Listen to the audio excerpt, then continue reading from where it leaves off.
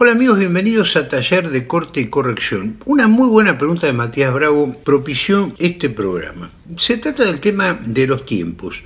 ¿Cómo conviene contar? De 0 a 100, decir, eh, les adelanto un poco la acción y después volver al tiempo presente, se puede hacer de repente decir, bueno, interrumpo la acción acá y les cuento algo del pasado. Básicamente en la novela todo lo que no se puede hacer en el cuento, todo eso la novela puede hacerlo y mucho más. Como ya lo hemos dicho más de una vez, tiene un solo deber a la inversa del cuento que está lleno de deberes. Ese Deber es ni más ni menos no aburrir. Eso me lo dijo mi maestro Vicente Batista. Entonces yo fiel a esa consigna que la novela debe no aburrir, bueno, traté de hacer mis novelas, traté de hacer que sean realmente llevaderas y bueno, hay gente que se las baja de un saque. ¿Cuál es el secreto? El secreto es mantener constantemente interesado al lector en lo que vos le estás contando. Eh, si bien la novela es muy elástica y tiene un montón de elementos que se pueden incluir, que se pueden sacar sin que el total se resienta, no por eso tenemos que agarrar y escribir parrafadas de descripción,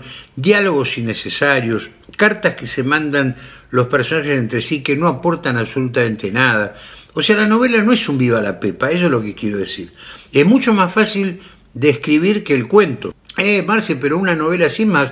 Sí, claro que sí, es mucho más fácil de escribir una novela que un cuento. Y eso cualquier escritor profesional que me, me esté escuchando en este momento puede aseverarlo perfectamente. Bueno, la cuestión es que si bien, como decía, en la novela se puede hacer de todo, eh, sin riesgo de, fracasar, acuérdense, una, una novela fracasa cuando no interesa, cuando su argumento es aburrido, cuando no avanza, cuando no, no coagula una acción en la cabeza del lector. No interesa, lo que les pasa a los personajes es como cuando uno ve una de esas películas y dice, bueno, ¿cuándo termina la película? ¿Viste? Porque realmente me importa un pito si el chico se va a casar con la chica o si la chica se va a casar con el enemigo del chico. Me importa tres pitos.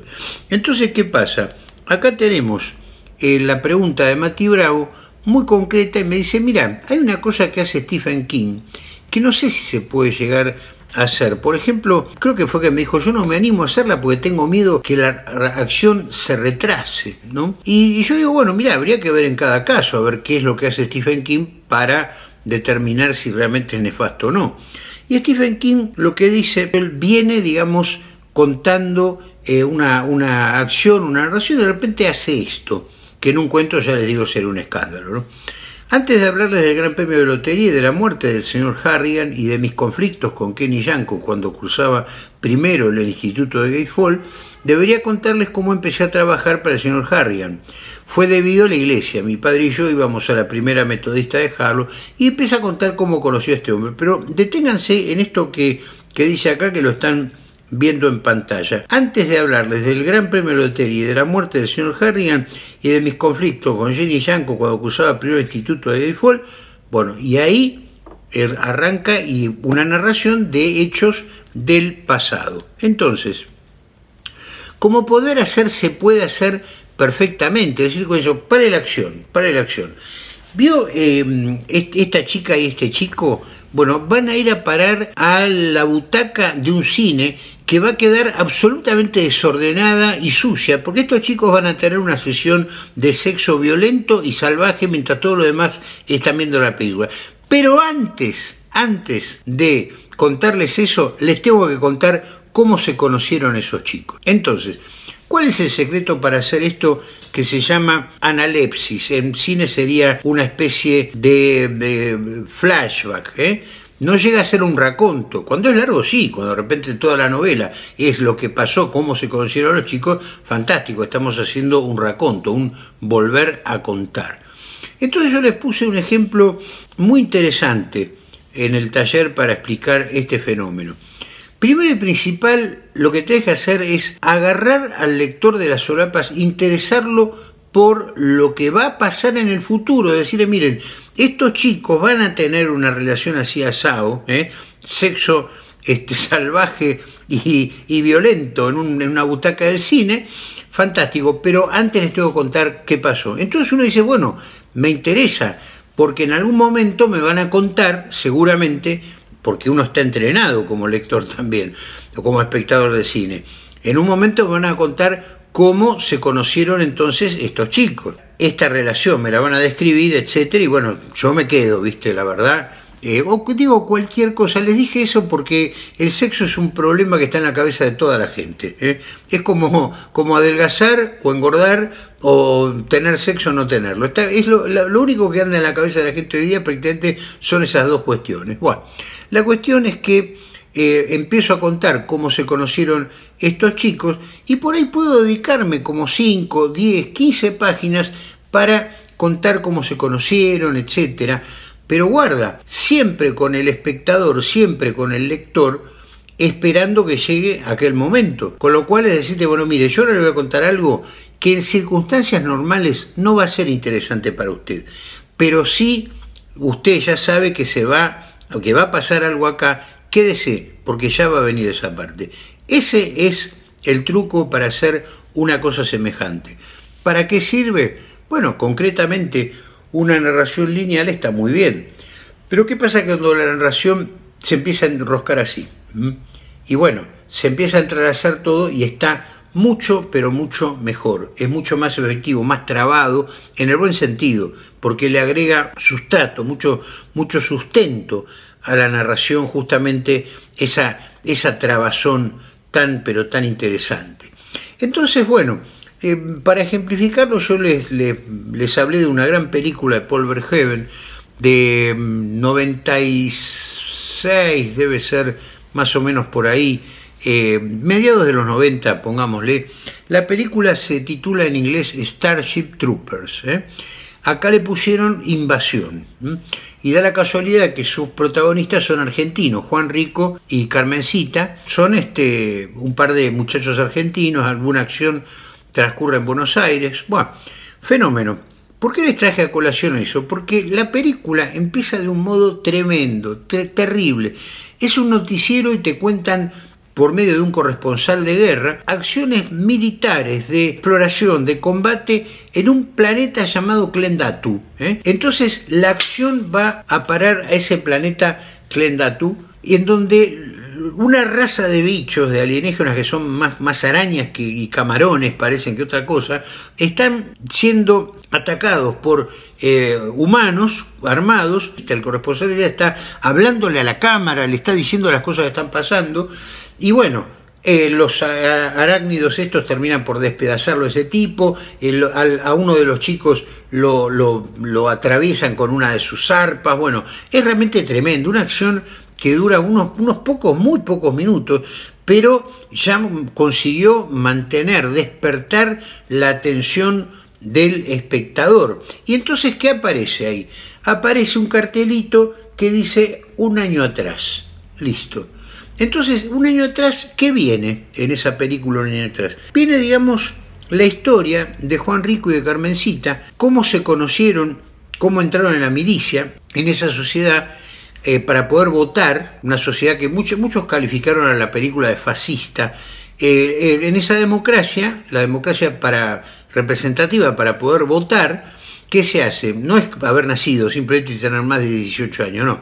Simplemente haber pasado por el servicio militar.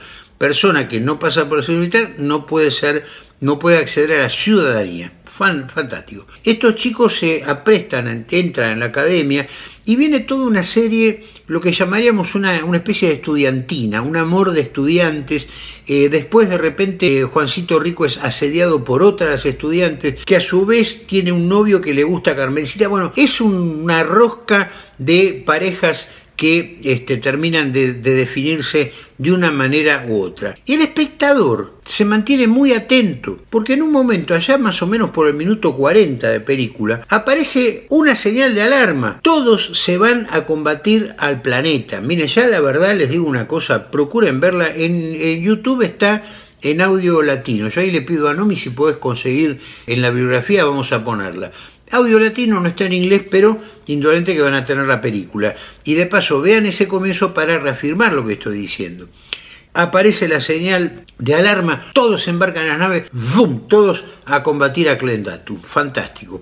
Entonces, ¿qué pasa? Piensen ustedes que hubiera sucedido si el espectador está de entrada sometido a eh, averiguar qué es lo que pasa entre Carmencita, entre Juancito. Le importa tres pitos, así le importa tres pitos. Va a estar el tipo diciendo, bueno, ¿cuándo empieza la película? Pero la película ya empezó, ya te arrancó. Es lo mismo que decía Steve King acá. Antes de seguir contándoles esta guerra, les voy a contar cómo llegaron estos mismos protagonistas, porque resulta que cuando vos seguís viendo la película, ves que uno de los chicos al que traspasaron era nada menos que el protagonista de la película, Juancito Rico, que en un primer momento, como es tan confuso todo, no lo identificás, pero después sí. Aparte, como a nosotros nos dijo una vez Ángel Fareta, las buenas películas están hechas para verla mucho más de dos veces. ¿eh? Cuando uno la ve y empieza a sacarle el juicio, dicen, ah, claro. Entonces, básicamente lo siguiente, tenemos una narración, digamos, una narración lineal. Dos chicos que se conocen, se ponen de novio, viene toda la instrucción militar, que es fascinante, es, fascinante. Miren, les cuento un chimento de la película, nada más, porque realmente a mí como cuchillero me parte el coco. Hay un momento en donde les enseñan a lanzar cuchillos, ¿no? A los cadetes.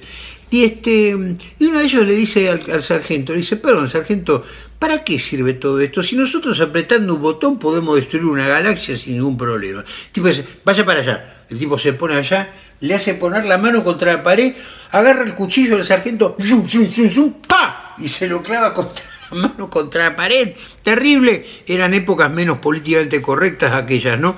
Pero le deja la mano clavada y le dice, le dice, el cuchillo aniquila la mano que aprieta el botón. Toma, ¿ves?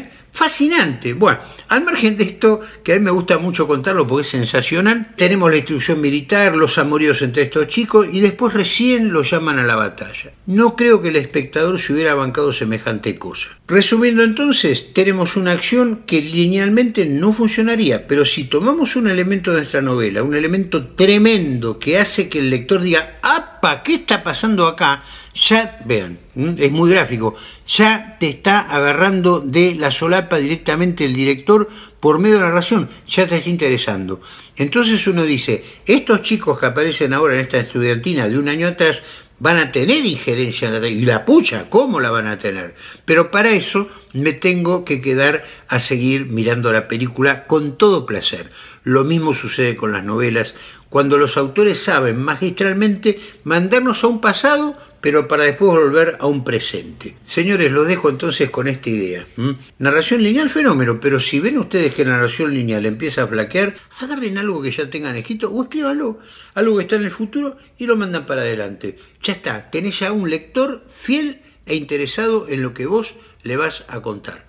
Sigan compartiendo nuestros programas, like, compartir, comentar.